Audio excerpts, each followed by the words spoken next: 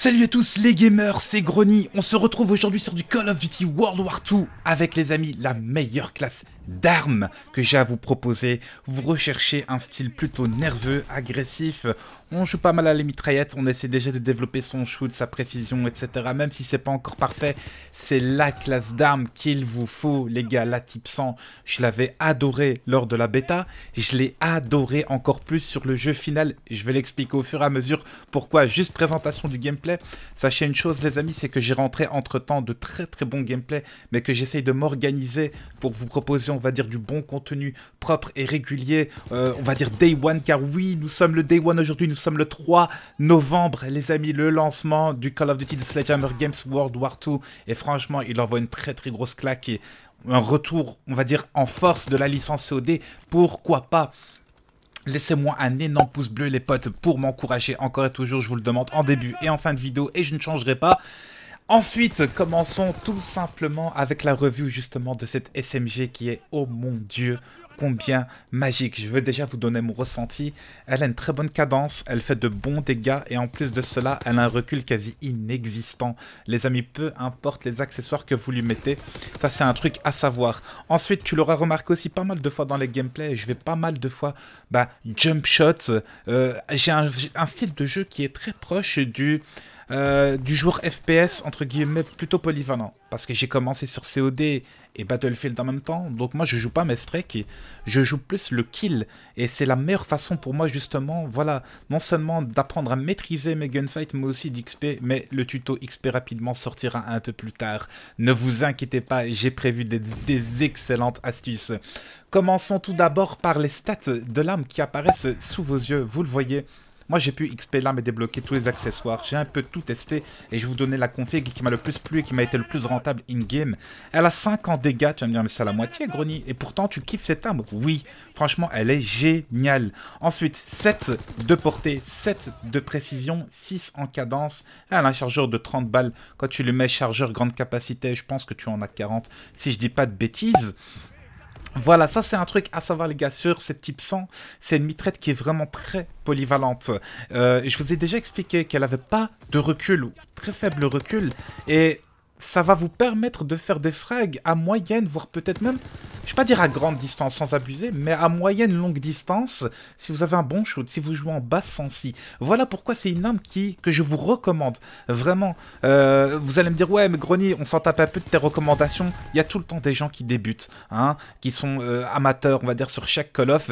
Les vidéos comme celle-ci, elles sont là aussi pour les aider, donc soyez indulgents et mettez-vous un peu à la place des autres. Une chose est sûre, les potes, qu'est-ce que j'avais encore à vous dire? C'est truc de fou comment je donne rapidement avec la type 100. Euh, je vois énormément de gens jouer la PPSH ou encore la Gris Gun. La Gris Gun que j'ai joué qui est terriblement bonne. Hein. Elle est vraiment très très bonne. Mais la type 100, j'ai l'impression pour le moment, les gars, pour ma part, elle sort du lot.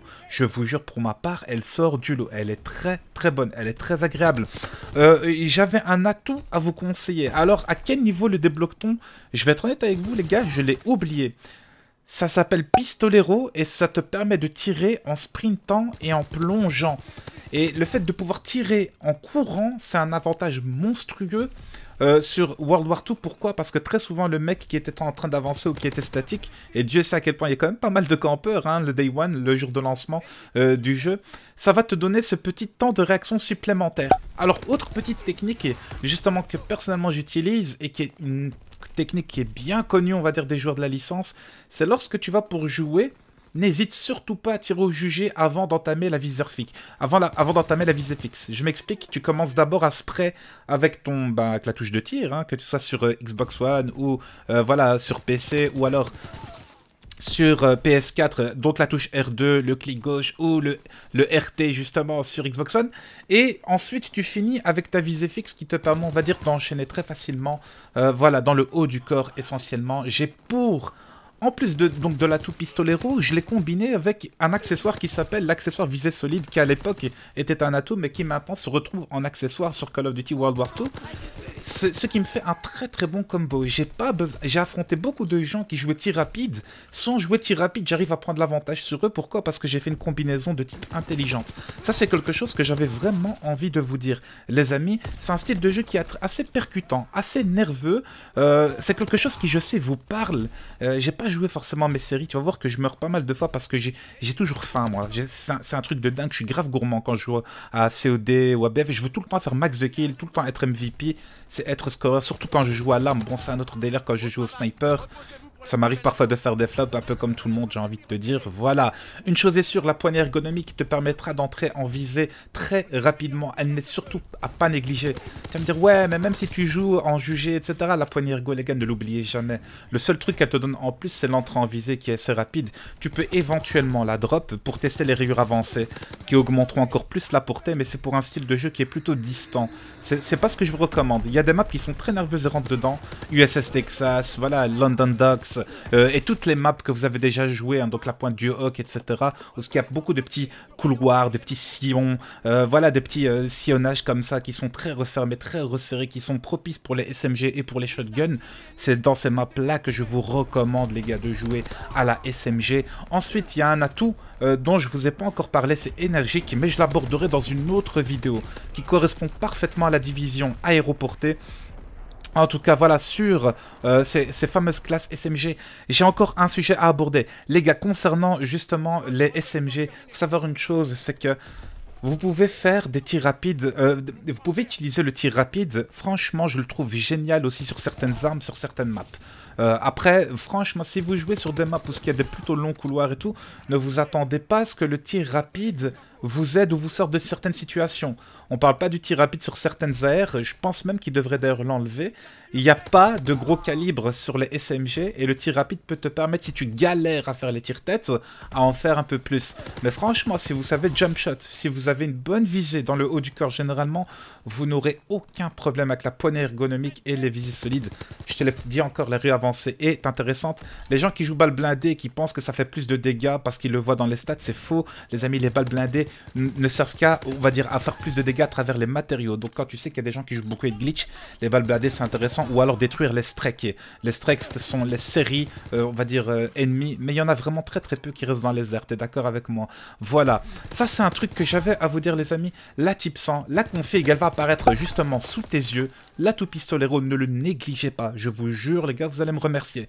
Euh, c'est une très très bonne combinaison. D'ailleurs, laissez-moi un énorme pouce bleu parce que je vous partage ma propre classe. C'est une classe qui est plutôt propre, les gars. C'est une classe qui encourage le rush, qui encourage le gunfight. C'est pas une classe qui encourage le fait d'être dégueulasse, assister, tout ce que je déteste sur Call of. Parce que oui, il y a beaucoup de joueurs qui vont revenir de BF, de CSGO sur Call of cette année. Et il faut aussi leur montrer que voilà, on est là aussi pour faire du frag à l'âme. On n'est pas là pour camper, pour débloquer ces strikes. Les strikes qui, je l'aborderai dans une autre vidéo, sont pas forcément extrêmement euh, va dire surpuissant, à part quelques-uns qui sont terriblement géniaux. Franchement, le dernier à 1700 points, il est juste sublime et magnifique. Les amis, en attendant, j'ai rentré un massacre de dingue dans ma toute première game au sniper. Et j'ai en solo, comme cette game que tu vois, c'est en solo. Toutes mes games que je vous propose sur YouTube, c'est du, du solo gameplay, les gars. Je n'ai besoin de personne pour faire mes games. Ça a toujours été comme ça. Ça le sera toujours. Est-ce que Grony, pour autant, tu joueras plus avec tes abonnés, etc. Je jouerai avec mes subs, les gars, sur Twitch essentiellement. Voilà, quand je streamerai quand l'envie m'en prendra, etc. Mais avant toute chose, je vais vous proposer, on, va dire, euh, de très très bons projets, notamment au sniper, parce que le sniper est jouissif. Euh, je vais vous proposer aussi une petite séquence tiens, que j'ai pu rentrer. Je pense, euh, je sais pas c'était dans quel mode de jeu, je sais pas si c'était une domination, une EC avec la type 100. C'était la première fois que je la jouais et elle était sans, sans accessoires. Franchement, il faut dire un truc, c'est un truc de dingue et comment c'est hyper agréable de jouer. La type 100, je sais pas comment t'expliquer, tu te sens en plus tellement fluide. Les gens qui disaient que le jeu était lent et lourd, je ne vous comprends pas. Le jeu est très, le jeu est très fluide, très rapide. T'as l'impression limite que tu ne cours pas mais tu glisses sur le sol. Et moi j'apprécie cette fluidité parce que comment t'expliquer ça? Les maps, elles sont à la fois de type moyenne, voire nerveuse, rentre dedans, on s'y fait très très vite. Il y a des gens qui disent ouais, mais on trouve pas de kill, etc. C'est juste que vous n'avez pas encore compris sur moi la conception des maps. Et j'avais envie de répondre au fur et à mesure un peu aux commentaires que je peux lire, hein, justement sur mes vidéos, euh, etc. Quoi qu'il en soit, les potes, j'espère vraiment que ma classe vous a aidé. Ne manquez pas toutes mes vidéos sorties, notamment la présentation du QG, les, les variantes d'armes épiques, mais également ma première ouverture de largage ravitaillement. À venir, une ouverture une ouverture de largage de ravitaillement, les potes, qui sort très prochainement. Je suis en train de les économiser pour vous. Euh, ensuite, je vous ai proposé des astuces pour bien débuter. Si vraiment, on va dire, vous galérez euh, avec la prise en main, etc. Les vidéos sont sorties. Laissez un gros, un gros pouce bleu sur chacune d'entre elles. C'était Grenier. Mille merci à toutes celles et tous ceux qui prennent le temps justement de partager mon travail. Portez-vous bien. Ciao les gars. À plus. Bye bye.